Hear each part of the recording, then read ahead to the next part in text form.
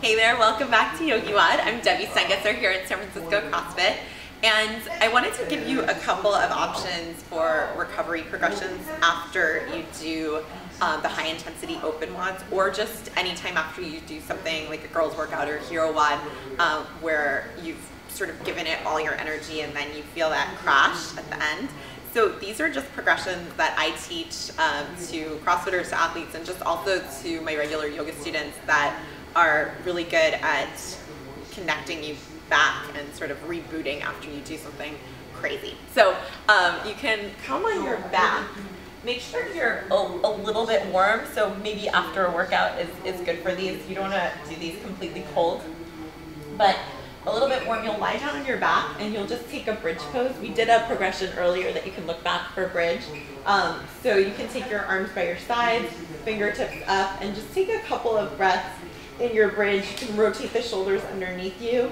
Um, if you like and you have one, you can place a block or even maybe a foam roller would work underneath you. And just breathe here. Try to get your breath all the way up into your upper chest. And then as you exhale, you can just lower down and take a few breaths in what's called Supta Baddha Konasana or reclined cobbler's pose. I don't know why it's called that. But um, I like to place one hand on chest, one hand on belly, and close your eyes. And I like to keep um, students here, or I spend probably about two minutes in that shape, just sort of grounding, getting your shit together, all that stuff. Um, and then after that, you'll just close your knees together, extend your legs down your mat, reach your arms up alongside your ears, and just take a stretch. You might interlace your hands, press the palms back, whatever feels good to you. Maybe an exhale out through your mouth. And then you can draw your knees into your chest Send your hips a little bit over to the right and then drop all of your knees over to the left for a twist. And gaze past your right fingertips if that feels okay on your neck. If not, keep your head neutral. Couple breaths here, maybe about a minute.